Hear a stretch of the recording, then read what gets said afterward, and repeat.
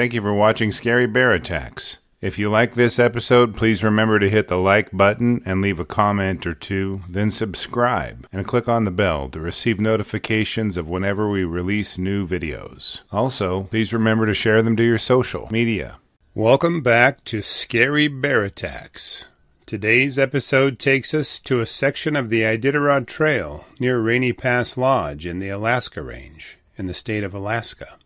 The Happy River runs through a broad valley, and its waters fill pockets of muskeg and small ponds. It is the first major valley just west of Denali National Park, and is almost as pristine and wild as it.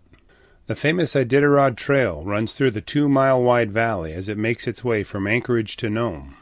The mountains here top out right at around 6,000 feet in elevation, with steep peaks giving way to sloping, lush valleys. The animals in this area are quintessential Alaska iconography, with caribou, moose, and Dall's sheep meandering meadows and gorging on greenery. To balance prey animals, predators like wolves, black bears, and brown bears patrol the prairies. The evergreens here include cedar, spruce, pine, fir, and hemlock, with aspen, alder, and poplar trees dropping their leaves each fall, creating a colorful display.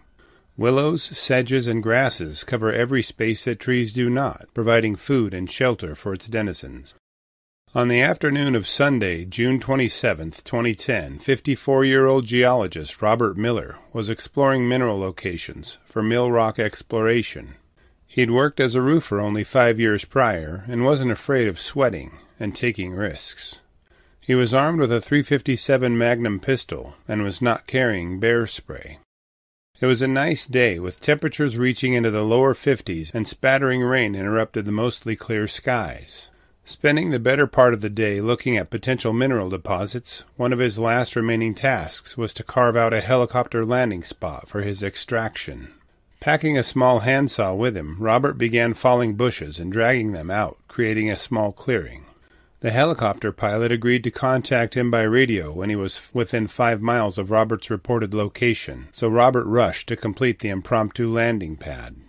Over the din of the saw ripping its path through limbs, Robert didn't hear the approach of an angry grizzly bear, if it made any noise at all. He noticed it when it was only a few yards from him, and it wasn't growling or snarling. The bear dashed for Robert and covered the twenty-five feet separating them in about one second. Robert had just enough time to pull out his 357 Magnum pistol from its holster and fired off a single shot in the bear's direction. He wasn't sure if he'd hit it or not and immediately dropped onto his left side into the fetal position. Robert clasped his arms around his neck to protect it from the bear's claws and teeth. The grizzly wasn't convinced by Robert's acting job and bit onto his right arm repeatedly, puncturing it in several places. He felt the bear's teeth dig into the area around his funny bone at his elbow, but failed to see the humor.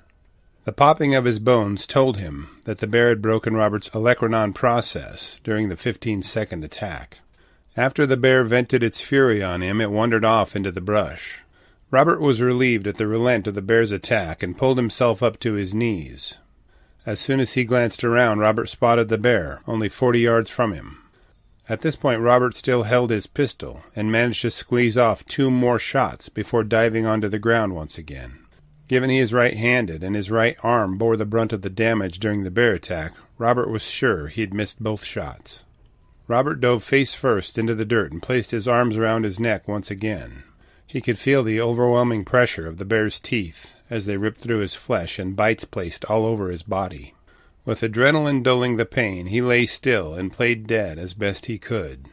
The bear swatted Robert and chewed on any part of the man's body that would fit in its mouth.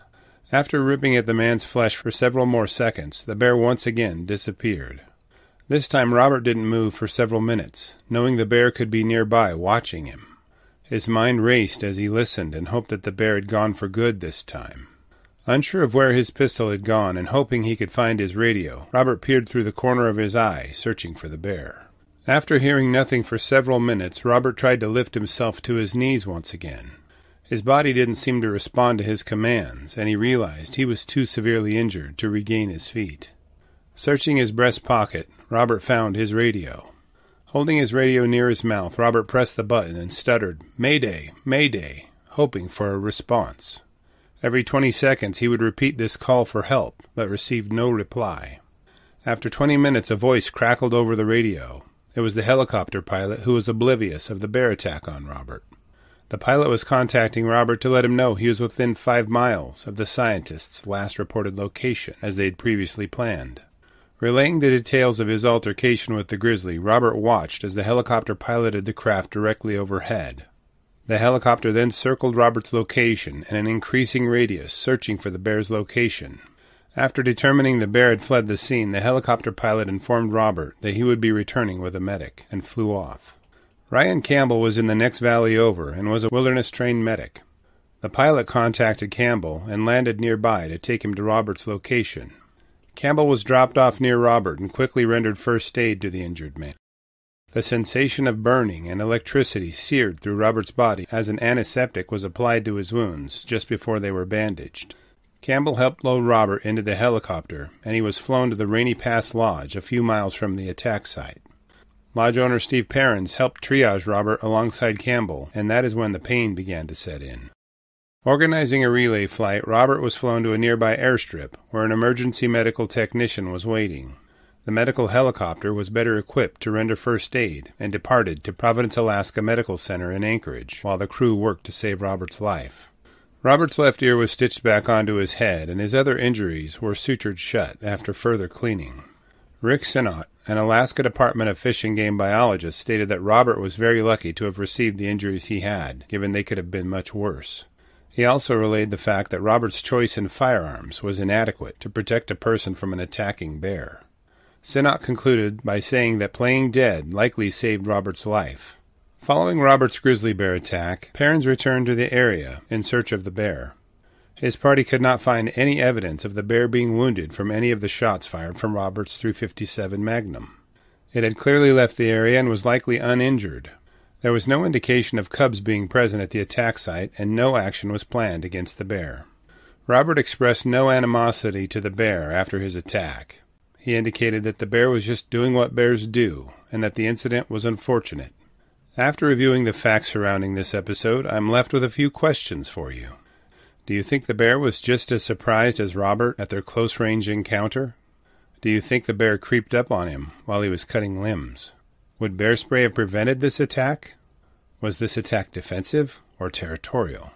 I will be glad to read and reply to your thoughts, so please post them in the comments section below and let's talk about it. Thank you for watching Scary Bear Attacks. If you've enjoyed this episode, please consider clicking on the like button and clicking on the bell icon. We'll help you know when we post our new episodes. Posting our video links to your social media profiles furthers awareness and is fun. We slashed our prices in our merch store, linked below, so check out the bargains there while you shop. As a member of our human community, remember to adventure bravely and be careful out there, especially in bear country.